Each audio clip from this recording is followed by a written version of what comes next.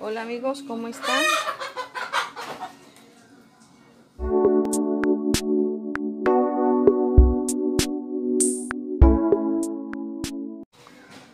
Hola amigos, buenos días, ¿cómo están? Hoy en Agenda Verde vamos a hablar de la etilación. Lo que es etilación es algo que sufren nuestras suculentas, nuestros cactus, eh, por falta de sol.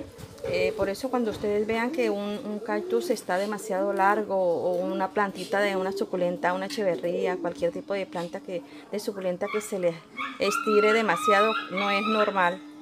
Es, no, es falta de sol. Se llama etiolazón. Aquí en este caso les voy a mostrar unos cactus que su forma natural son anchos, casi que redondos y aquí ellos no tomaron el sol suficiente y por lo tanto mire cómo se pusieron largos, largos, delgados, ya empezaron a tomar sol y aquí ya empezaron a tomar su forma natural. Como pueden darse cuenta, se van empezando a estirar porque su forma natural son redondos. Y como no les daba sol suficiente donde los tenía, pues crecieron bien, en buen estado en cuanto al, a su a su parte de, de, la planta, pero no como ellos deberían de ser, que son anchos. Aquí tengo otro que es igual, mírelo, está aún más delgado y estirado, son mm, anchos y parecen eh, prácticamente como unos platos. Este es una puntia, un opal y como se pueden dar cuenta son muy delgaditos, muy delgaditos, estirados, súper estirados, mire. Entonces no les da sol suficiente. Hay que sacarlos al sol, ponerlos en un sitio donde les dé el sol, de mínimo 3 a 4 horas diarias o 6 horas si es posible para que les, les mm, dé el suficiente sol y así puedan tener su eh, desarrollo normal.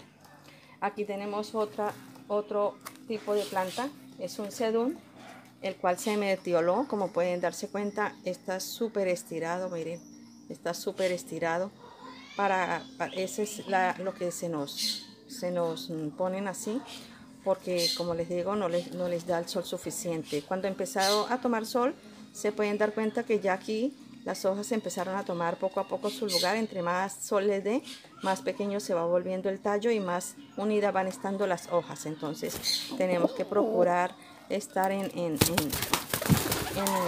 en un completo o sea, en un completo o, completas horas de sol, disculpen. Tenemos que darles unas, unas horas de sol para que no pues, pasen esto. En este caso podemos cortarlo en esta parte para que el tallo sembrarlo de nuevo y volver a hacer una otra matita, pero pues estoy dejándolo ahí un poco más para que los hijuelos crezcan un poquito más aunque mire, ellos iban creciendo de la misma manera porque tampoco les daba suficiente sol, estaban en la sombra, donde les daba luz pero no les daba sol, entonces ahorita los coloqué donde les da 3, 4 horas de sol al día. Y mire, están hermosos, su color es bonito, él se torna color bronce por los lados con el sol y empezó a tomar su color que es eh, cuando les da el sol. Entonces amigos, eso se llama etiolación. Cuando ustedes vean que sus plantitas están demasiado largas, es por eso, entonces es porque necesitan sol aunque pueden estar como la mía, miren, muy bonita, sus, hojas están bien fuertes, su tallo está fuerte, pero me dijo que ella me, habló prácticamente con su, en su forma de crecimiento de que le estaba haciendo falta sol. Igualmente este calanchoy es un calanchoy el cual se estiró. Vea la diferencia, estas eran sus hojas, estas eran sus hojas primero grandes y eran muy unidas pero igual pasó. Entonces, mire, ya se deformaron las hojitas, empezaron a, tomar una forma muy diferente, largas, muy, muy hasta deformes y perdió su forma natural. Mire, a medida que va creciendo, va, empezando a, tomar su forma. Mire las cómo se colocó. Las hojas cambian por completo porque le hacía mucha falta el sol. Aquí estas son sus hojas normales. Como pueden darse cuenta, es el calanchoe, el cual contiene muchísimos hijitos en las, hojas, pero es muy lindo, me encanta. Dicen que es, mm, muy invasivo, pero si se puede controlar. Yo agarro los hijitos que se van cayendo y los voy colocando ahí mismo en la, en la maceta y aquí, como pueden darse cuenta, hay algunos y ahí van naciendo y si no nacen, pues igual manera esto controlamos de que se propague tanto como dicen muchas personas.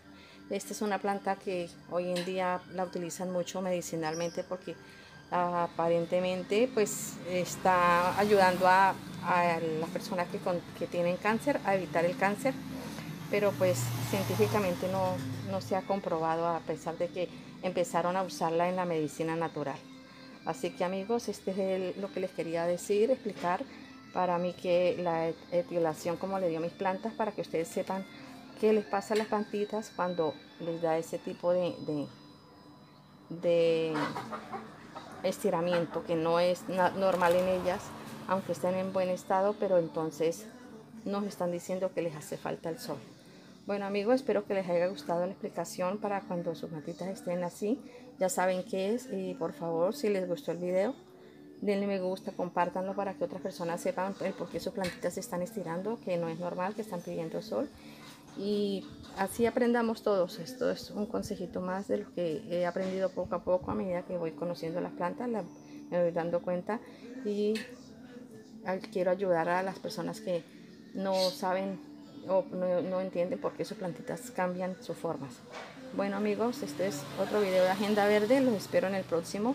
Espero que les haya gustado. ¿Algún comentario por favor? Díganmelo en los, eh, ahí déjame en un comentario si les gustó y igualmente ayúdenme si no les gustó algo y así pues estaremos mejorando. Bye amigos.